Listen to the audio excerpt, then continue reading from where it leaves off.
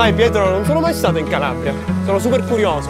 Sembra una terra bellissima. È una terra pazzesca. A me fa arrabbiare che i giovani debbano fuggire per colpa della disoccupazione. Sì, ma la Calabria non è solo questo. Aspetta di arrivare a San Floro.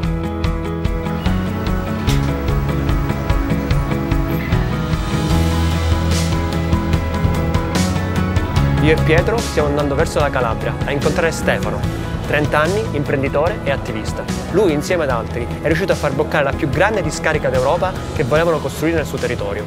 Subito dopo ha lanciato un progetto di imprenditoria agricola pazzesco, di cui si parla in tutto il web.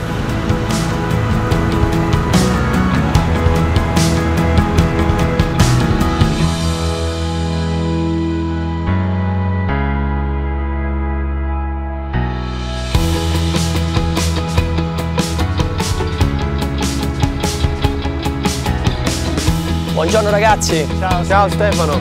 Benvenuti. Piacere di. Piacere mio. Piacere Giulio. Piacere. Venite con me, andiamo a fare un giro. Dai. Proprio bello qui. Tu Stefano sei cresciuto in questa città? Sì, ah, i miei nonni vivevano già in questo paesino. Pensa che siamo soltanto 690 abitanti, la maggior parte anziani perché i giovani o hanno studiato fuori e rimangono fuori, o comunque negli anni 70 c'è stata tantissima immigrazione, come ogni paesino del sud, le persone cercavano un'opportunità al nord.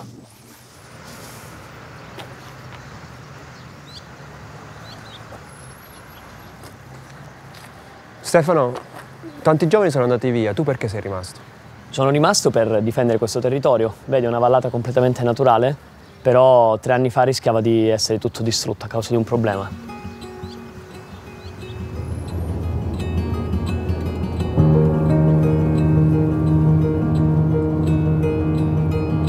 Vedete questo cancello, ragazzi? Era dove volevano fare la discarica più grande d'Europa, nel nostro comune a San Floro.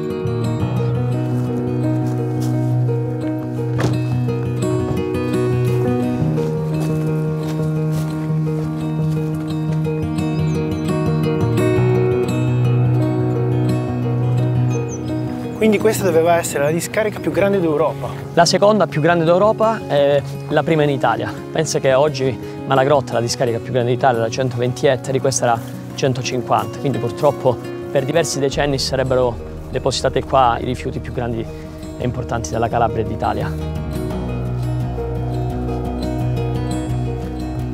Vedete sta buca? Cinque anni fa era tutto bosco.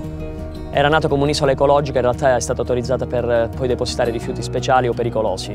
Per fortuna è nato un comitato civico spontaneo che ha guardato tutte le carte, quindi abbiamo fatto dei ricorsi pazzeschi, durati anni anche. In due anni abbiamo risolto il problema perché un vizio di procedura ha sospeso tutti i lavori e poi revocato, quindi questa discarica non si farà più. Però restiamo con questo problema di una grande buca in un bosco pubblico.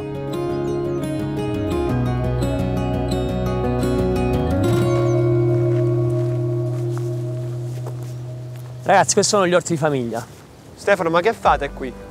Questa è la risposta al problema della discarica che è là sopra.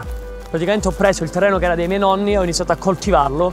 Ho pensato di fare un orto per gli amici della città che non hanno il pollice verde, il tempo o la terra. Quindi i lavori agricoli li facciamo noi, piantiamo noi le verdure, loro raccolgono il sabato o la domenica. Siamo partiti con 10 orti, poi siamo diventati 150 in un anno, ma per un motivo semplice, difendere il territorio. Dopo l'orto il progetto del pane, poi dal pane al progetto del mulino. Ciao Franco!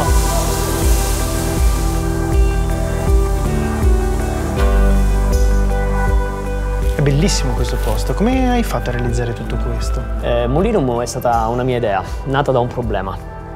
Stavano vendendo l'ultimo mulino a pietra, quindi ho pensato di salvarlo, ma non mi bastavano i capitali per comprarlo.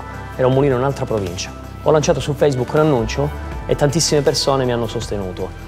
Ho raccolto in 90 giorni 100 persone con 500.000 euro di capitale sociale per realizzare questo grande sogno che è un casolare dove il grano diventa farina e la farina un prodotto da forno, rispondendo a un'esigenza, cioè il mangiar sano, però difendendo il territorio coltivandolo, perché siamo un'azienda agricola che produce grani antichi, e difendendo la tradizione tornando a fare il pane come una volta, quindi lievito madre, farina macinata a pietra e forno a legna d'ulivo.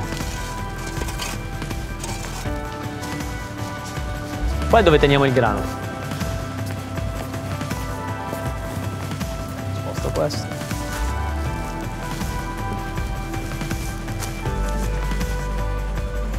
Essere giovani imprenditori in Italia è molto difficile, soprattutto quando devi iniziare e raccogliere molta fiducia. Tu hai incontrato questo problema? Sì, ma l'età è solo un numero su una carta d'identità, non è nient'altro. Conta la tua aspirazione, il tuo sogno e poi cosa fai per realizzarlo. Io do sempre un consiglio molto semplice, di sognare ancora più in grande. L'unico modo per fare quello che non si riesce a fare è pensare oltre, trovare soluzioni nuove. Questo deve fare l'imprenditore, far sì che le cose cambino, far accadere le cose.